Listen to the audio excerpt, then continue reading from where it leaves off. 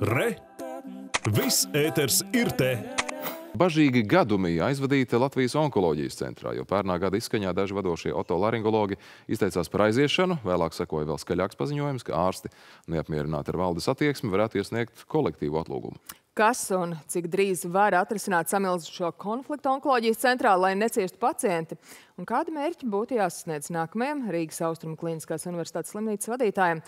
To mēs jautāsim pašreizējiem valdes priekšsēdim Imantam Paeglītim. Labrīt! Labrīt. Labrīt. Noteikti jāsāk ar atgādinājumu skatītājiem, ka jau šonadēļ 6. janvārī jums ir pēdējā darba diena, pareizi, ja? Saprotu, tas sanāk.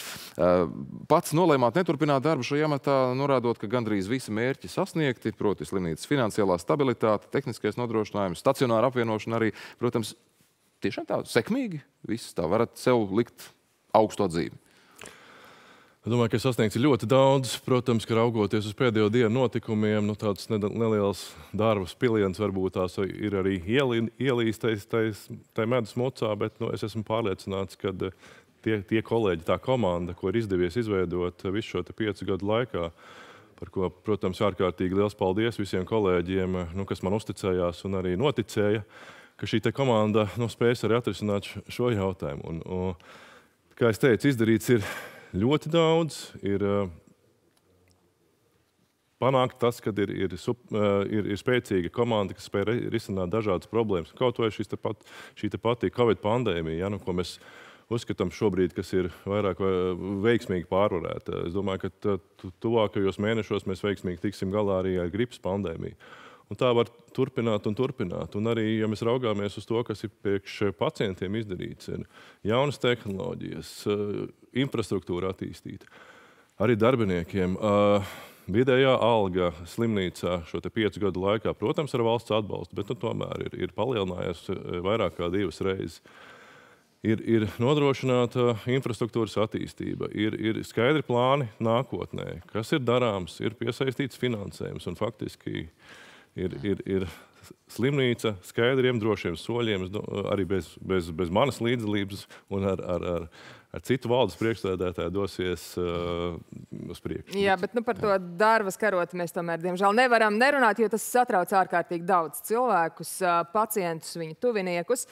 Šis uh, konflikts, uh, slimnīca un uh, Latvijas onkoloģijas centrs, uh, jūs jau minējāt, piemēram, uh, vidējais atalgojums uh, krietni pieaudzis, un tomēr ārsti uzsver, ka atalgojums ir nepiedodami zems. Finanšu jautājums ir viens no tiem galvenajiem konflikta iemesliem. Vai vienīgais? Vai viens no? Uh, kā, kā mēs šobrīd noskaidrojam, pārunās, ko mēs um, pēdējās dienās esam piedalījušies, ar, un, un arī šodien turpināsim, un arī turpināsim ar, ar, ar, citām klīnikām, ne tikai ar onkoķirurģijas klīniku. Šis ir viens no jautājumiem. Tad atalgojums, jā, pēdējos gados ir, ir, ir vairāk kā divas reizes palielināts, bet, uh, nu, manuprāt, ņemot vērā to darbu, ko dara mediķi, viņš vienalga ir, ir nepietiekams. Un, un, uh, šobrīd ir skaidrs, ka slimnīca tikai ar saviem spēkiem vismaz šajā gadā, un, un droši vien arī tuvākajos eh, nākamajos gados, nespēs uh, palielināt atalgojumu, ja no valsts puses netiek mainīts finansējums, netiek palielināti tarifi. Un, nu, šis ir tas jautājums, vien, kas skar ne tikai austrumu slimnīcas, bet arī, arī citas slimnīcas. Bet tieši slimnīcas kontekstā, jo izskanējis dažās diskusijās, ka ārstiem atalgojumi pa līdzīgām specialitātēm tajā pašā Stradiņas slimnīcā vai pat reģionos, nu, tas cipars nav tik zems kā, kā Locā, kā onkoloģijas centrā, piemēram. Vai tu tā austrumu slimnīcas um, aktivitāte ir bijusi pietiekama cīņā par savu uh, atvēlēto mm, budžeta daļu tieši atalgojumam? Protams, tas um, atalgojums par specialitātēm var nedaudz atšķirties, bet, ja tas būtu būtiski atšķirīgs, tad droši vien austrumu slimnīcā neviens vairs nestrādātu. Visi dotos kaut kur, kaut kur citur. Nu, tagad tieši sola doties, jā, liela daļa. Bet es, es vēlreiz un vēlreiz apskatījos, kāda ir vidēja alga Stradiņas slimnīcā ārstiem. Un, un šī vidēja alga ir nu, gandrīz mats matā vienāda ar to, kas ir austrumu slimnīcā. Uh, mēs esam arī ieviesuši vairākās klīnikās jauno atalgojumu sistēmu, un tur, tur savukārt situācija ir otrādā. Kad austrumu slimnīcā ir, ir labāks atalgojums nekā Stradiņas slimnīcā. Tā kā, Tā, kā, nu, tā, tā situācija droši vien var būt nedaudz atšķirīga, bet, bet nu, kopumā vidējās algas ir ļoti līdzīgas. Pirms pāris dienām jūs un uh, dr. Sīviņš bijāt pie kolēģis Anets Bērtels, un tad tur diezgan plaši arī tika apspriests šis jautājums par uh, onkoloģijas centra atrašanās vietu, par pārcelšanos uz jaunām telpām. Um, ārsti pauž viedokli, ka tas apdraudētu prof, uh, operāciju norisi, ka nevarētu tik daudz operēt. Nu, un savukārt um, jūs uzsverat, ka tās ir jaunas telpas, jauna infrastruktūra, moderna. Kas tad tur ar tām telpām īsti ir? Nu, jūs jau pareizi teicāt, un, un šobrīd nu, tās, tā neskaidrība, ko pauž ārsti un par ko ir ārstu bāžas, ir, ir par to nākotni, kas iestāsies apmēram pēc diviem ar pus gadiem. Mums eh, šobrīd notiek eh, liela daļa gaļa, gaļas stacionāra rekonstrukcija. Līdz, līdz ko rekonstrukcija gaļasarā tiek pabeigta, tad mēs sākam uh, onkoloģijas centra rekonstrukciju. Un uz to brīdi nu, tur faktiski tas ir skaidrs un arī, arī ārsti to saprot, ka tajā brīdī visām onkoloģijas centra klīnikām ir, ir jāpārceļās uz izremontēto gaļas zerdaļu. Bet jautājums no ārsta puses ir, kas notiks pēc tam. Un acīm redzot, šī tā lieta, kas nav līdz, varbūt, līdz galam vēl izdiskutēta, un mēs esam vienojušies, ka mēs pie šīs diskusijas tuvākajās dienās, tuvākajās nedēļās atgriezīsimies. Acīm redzot, veidosim atsevišķu kādu uh, diskusiju grupu, kur piesaistīsim labākos un gudrākos jomas speciālistus un tieši vērtēsim no pacienta viedokļa, kas ir tas, ko pacienti iegūs vai ko pacients zaudēs vienā vai otrā variantā.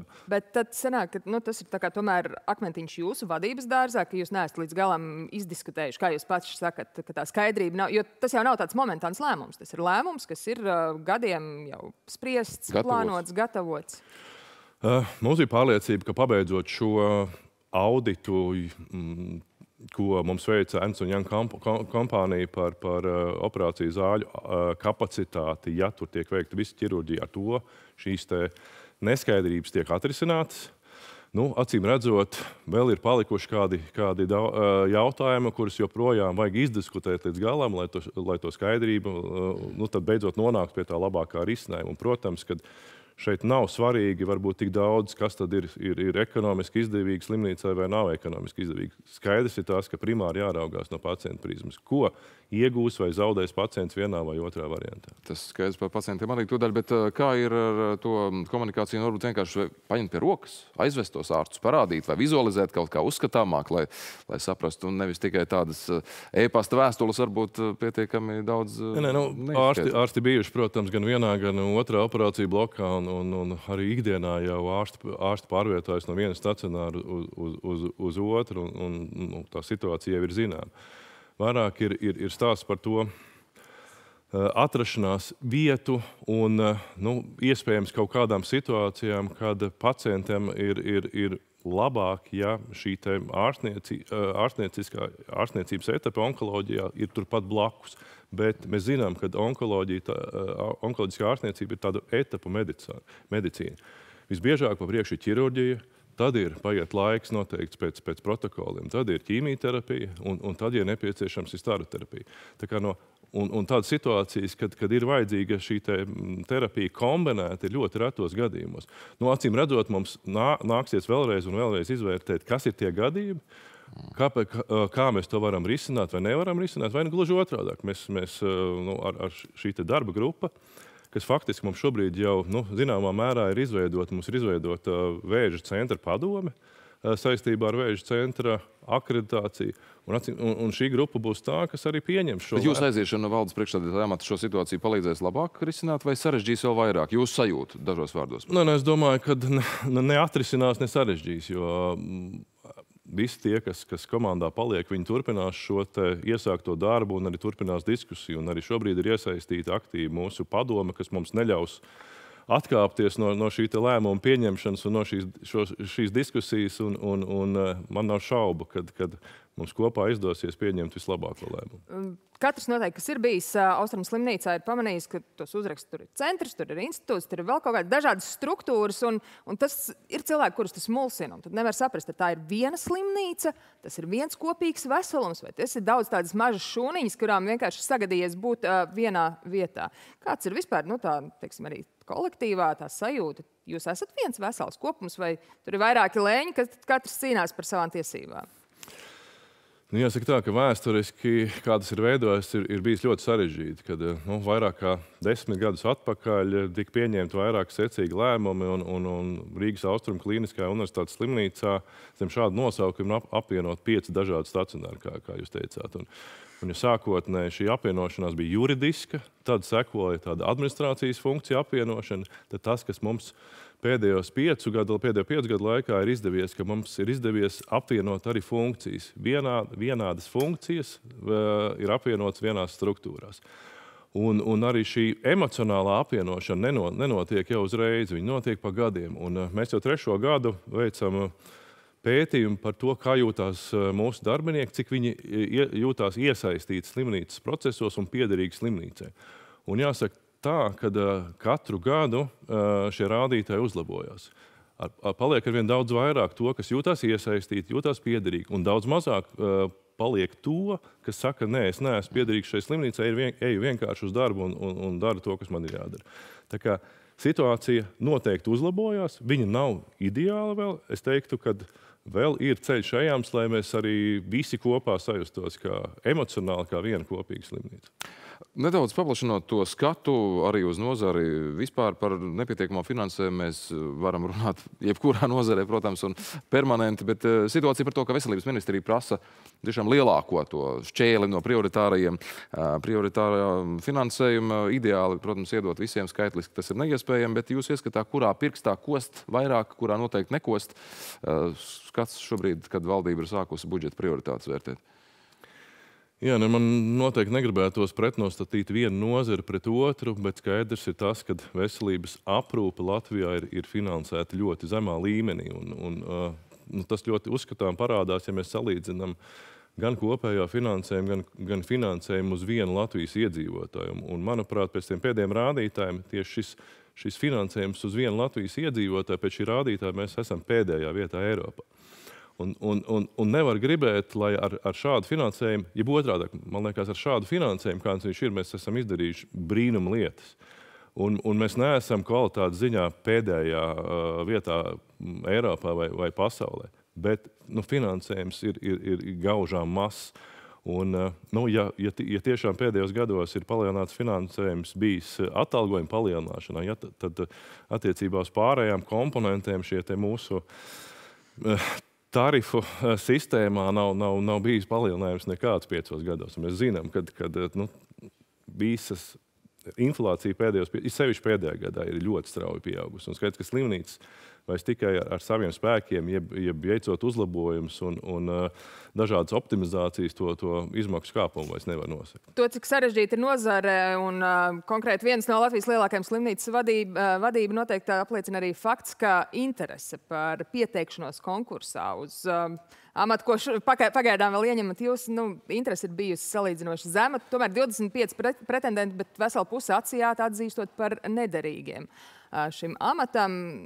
Kā jūs teiktu, nu, cik vispār šis amats ir tāds, kuru grib? Es nevaru teikt, ka tā interese ir bijusi ļoti zema.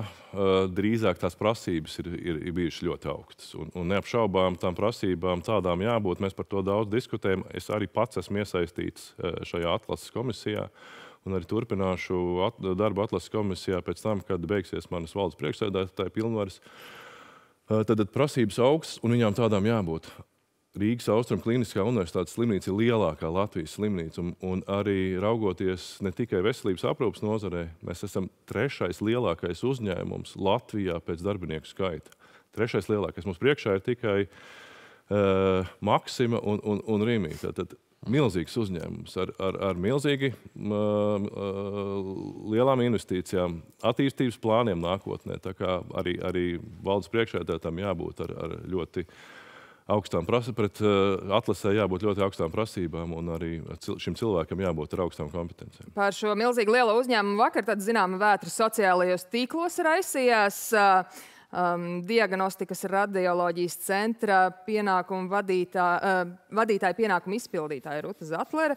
Uh, izrādījās ļoti kolorīta persona um, sociālajā tīklā Instagram, bet rādās tikai vienu dienu nostrādājusi. Nē, no pirmdienas līdz uh, Vakardienai trīs dienas. Trīs dienas. Un uh, darba attiecības tika pārtrauktas? Darba attiecības tika pārtrauktas tieši nu, varbūt šī iemesla dēļ, kad, kad tas īsti nebija nu, savienojams ar, ar, ar slimnīcas tēlu. Mm.